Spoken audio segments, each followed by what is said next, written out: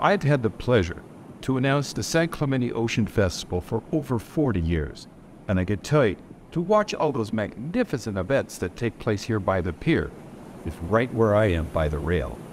If you want more information, just go to the website, check it out.